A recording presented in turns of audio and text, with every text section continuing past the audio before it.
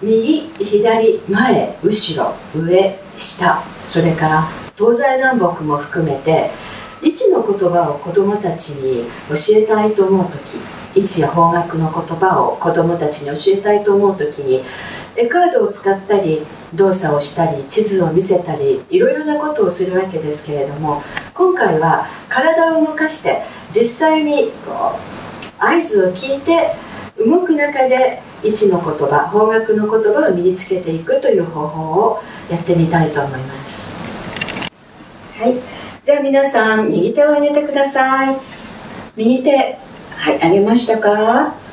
というように先生が左手を上げて子どもたちに右手右はどっち？と教える場合がありますがそれでは混乱を招く場合がありますので今日は先生は後ろを向いて子どもたちに位置の言葉を教えたいと思います。ではカスタネットを使ってリズムを取りながら動いてみましょう。はい。右左左右前後ろ後ろ前。後ろ右左。